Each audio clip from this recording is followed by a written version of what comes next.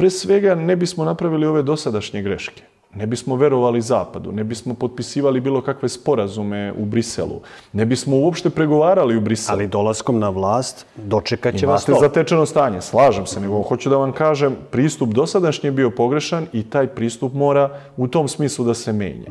Dakle, mi moramo pre svega da vidimo št- e, šta sada u ovako nepovoljnom položaju možemo da uradimo. Ja lično mislim da možemo da prekinemo te besmislene pregovore u Briselu. Da zvanično kao država zatražimo povratak bilo kakvog daljeg dijaloga o Kosovo i Metohiji u Savet bezbednosti jednih nacija. To bi bila prva mera, prvi potez neke suverenističke, državotvorne i patriotske vlasti. Dakle, videli smo gde su nas doveli Zapad će ovi razgovori. blokirati. Da vidimo to. Da li Zapad to može da blokira? Dakle, e, kao što su ti pregovori izmešteni iz Saveta bezbednosti određenom odlukom Ujedinjenih nacija, tako mogu da budu i vraćeni, pa nekom drugom odlukom Ujedinjenih nacija. Ali za to morate da lobirate, e, morate da se bavite diplomatskim aktivnostima u tome pravcu, morate da nađete saveznike za podršku takvoj jednoj odluci, a vi to ne radite. Vi ste i dalje oslonjeni samo na Zapad. Pa nije Zapad jedina strana sveta. Ali je najjača.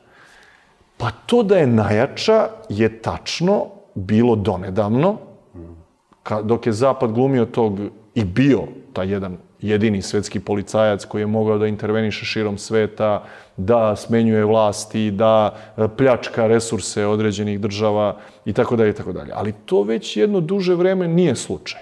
To nije Zapad više mogao u Siriji, to Zapad više ne može u Ukrajini, to Zapad sve manje može i na drugim tačkama planete, jer sada postoje neki drugi veliki geopolitički igrači. Oni su trenutno okupljeni u BRICS, ali pojedinačno svaka od tih zemalja, mislim i na Rusiju, i na Kinu, i na Indiju, i na Brazil, i na Južnoafričku republiku, su sada već jedni ozbiljni igrači, i ekonomski, i demografski, i vojno, i politički naravno, i sada već to jeste jedan multipolarni svet u nastajanju. Dakle, Zapad više ne može te odluke da donosi tako kako hoće.